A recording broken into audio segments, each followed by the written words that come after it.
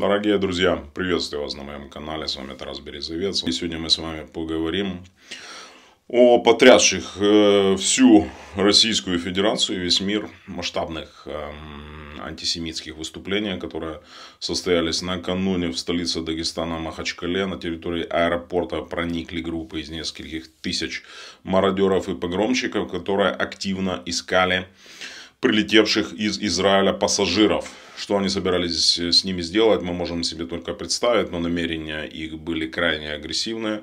После того, когда среди пассажиров прибывающих рейсов они не обнаружили евреев или людей с израильским гражданством, они разгромили Махачкалинский аэропорт.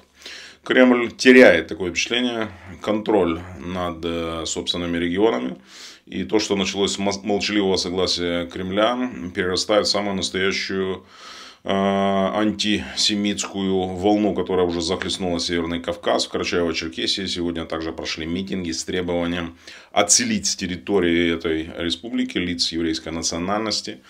Э, и мы видим как волна ненависти, которая поднимается на Северном Кавказе и стимулируется местными властями и Дагестана, и Карачаева-Черкесии, и в том числе и Чеченской Республики, она уже представляет серьезную угрозу Кремлю. Э, сегодня все мировые СМИ пишут о антиизраильских выступлениях, и это представляет собой очень серьезную угрозу для путинского позиционирования в мире, в израильско-палестинском конфликте, где они пытались внешне, по крайней мере, сохранить видимость нейтральности. Этот имидж полностью разрушен.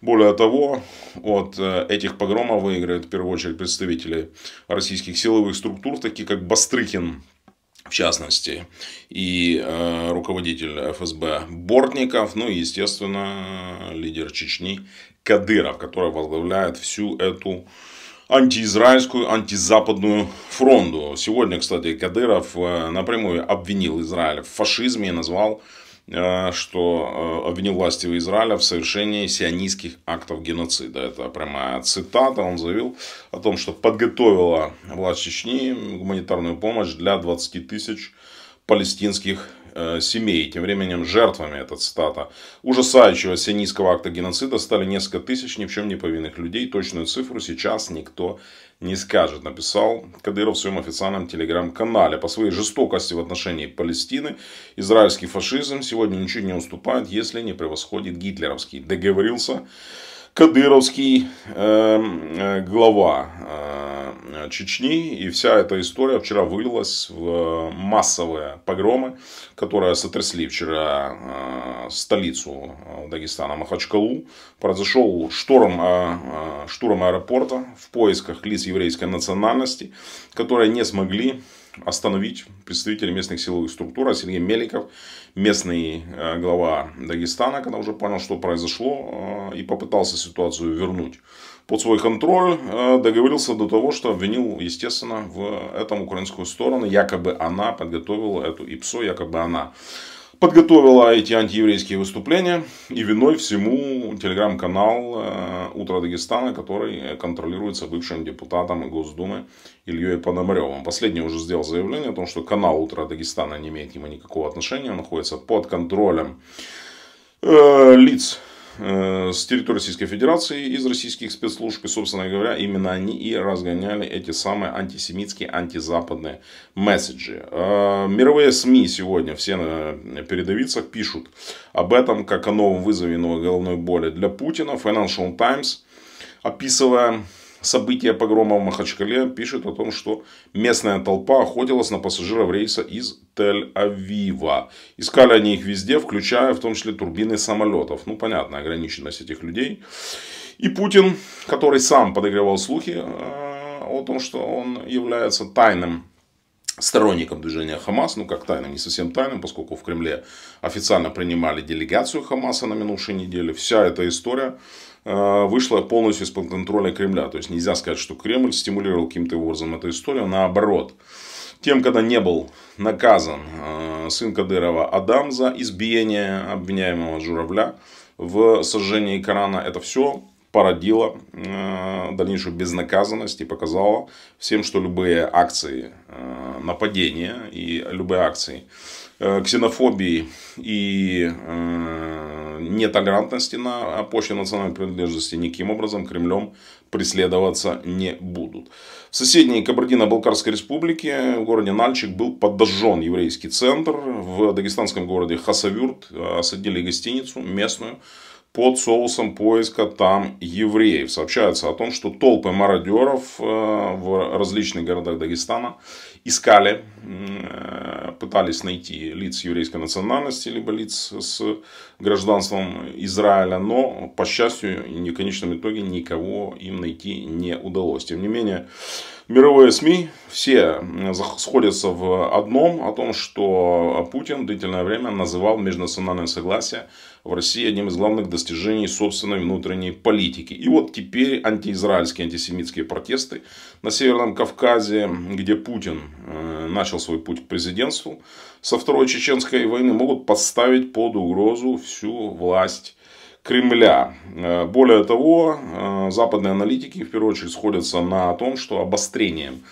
этой межнациональной, межрелигиозной ситуации обязательно воспользуется директор Федеральной службы безопасности Алексей Бортников и глава Следственного комитета РФ Александр Бастрыкин, который всячески сейчас демонстрирует собственную лояльность к Путину, пытается вернуться сейчас в обойму, некоторое время они находились в опале, и кроме того, они могут, как всегда делают спецслужбы, сами стимулировать подобное а, межнациональное а, столкновение и спровоцировать дополнительные антисемитские погромы для того, чтобы под этим соусом получить больше полномочий и показать свою твердую руку в их подавлении. Кстати, нельзя исключать, на самом деле, это тоже может быть версией рабочей, с которой можем работать, что эти выступления на самом деле подогревались представителями именно российских спецслужб. На определенном этапе понятно, когда ты начинаешь подобные акции, ты их контролируешь только до определенного момента. А вот после того, когда они уже запущены, этот маховик уже запущен, ты теряешь контроль. И поэтому версия с тем, что российские спецслужбы реально могли спровоцировать эту ситуацию в Дагестане, она является вполне рабочей. И я думаю, что в ближайшее время мы сможем увидеть подобную аналитику, в том числе от, от э, серьезных э, экспертов. Тем временем все э, мировые политики, чиновники в шоке от происходящего. В частности, ситуацию комментировала пресс-секретарь Совета национальной безопасности США Эдриан Уотсон, которая заявила о том, что США решительно осуждают антисемитские протесты, именно так, это уже все трактуется в Дагестане, и поддерживают всю еврейскую общину во время всемирного всплеска антисемитизма. Премьер-министр Канады Трюдо заявил о том, что антисемитизм является неприемлемым во всех формах. И бывший министр иностранных дел Литвы Линас Линкевичус заявил о том, что в России мы видим, как возрождаются неонацистские традиции. Это результат промывания мозгов со стороны власти. Сотни людей штурмовали аэропорт в э, Дагестане, охотясь на евреев. Христо Грозев, болгарский журналист-расследователь, заявил о том, что открылся новый фронт внутри России, и ФСБ и Росгвардия оказались к нему полностью не готовы. Э, помимо э, Меликова, который обвинил украинские спецслужбы в организации этой провокации, Путин сегодня собирает большое специальное экстренное совещание, э, на котором будут собраны российские силовики. Состоится оно сегодня, ближе к вечеру. О нем известно пока не очень много. Ссылается все на заявление путинского официального пресс-секретаря Дмитрия Пескова который заявил, что ближе где-то к 19.00 по московскому времени планируется большое совещание, на котором будут, цитата, обсуждаться попытки Запада использовать события на Ближнем Востоке для раскола российского общества. То есть они сейчас, настолько глупые, они сейчас пытаются перевести стрелки на Украину и на Запад в том, что, дескать, ситуацию в Дагестане спровоцировали отнюдь не российские спецслужбы и не, отнюдь не потакание Кремля действиям антисемитов и шовинистов в российских регионах, а, видите ли, за этим всем стоит, естественно, западные спецслужбы. На данный момент известно о задержании как минимум 60 человек, э, ну, в любом случае аэропорт Махачкалы полностью разграблен. Вот, уже известно о том, что умер один из полицейских, который получил травмы накануне. Ну, а э, антисемиты всех мастей, безусловно, празднуют э, вчерашний день, 29 октября. Это праздник того, когда Россия наконец показала свою настоящую антиеврейскую, антиизраильскую и античеловеческую сущность. И присоединилась таким образом к фронту тех режимов, которые э, поддерживают и приветствуют акты террора, террора осуществленные э, боевиками и убийцами в отношении мирных израильских граждан. Путин действительно стоит перед э, огромной проблемой. Это огромный вызов. Разрушается его имидж, еще раз повторю, в первую очередь в э, Израиле. Это уже привело к огромному росту антироссийских настроений. Ну и самое главное, клеймо антисемита, которое теперь приклеится к Путину и к его режиму, э, создаст для него огромные дополнительные проблемы в будущем. Путин это понимает, но поскольку джин выпущен из бутылки, в буквальном смысле, загнать его назад будет крайне сложно. Мы увидим, я думаю, наоборот, если в ответ сейчас будут жесткие акции, задержания, и спецслужба попытается этим воспользоваться, как я спрогнозировал, это может вызвать ответную реакцию, и, скорее всего, вызовет со стороны исламских фундаменталистов на том же Северном Кавказе и может привести к росту терроризма. Одним словом, непрогнозируемый сценарий. Спираль Россия возвращается вновь в бурные 90-е, времена Первой и Второй Чеченской войны. Одним словом, все это может вспыхнуть. Попытка сейчас подавить силой эти антиизраильские выступления может закончиться тем, что вспыхнет сейчас реально межрелигиозная война а, на Северном Кавказе и не только там, в тех регионах, не забываем о Татарстане в том числе, тех регионах, где большая доля составляет мусульманского населения. Не все, безусловно, мусульмане, это не клеймо.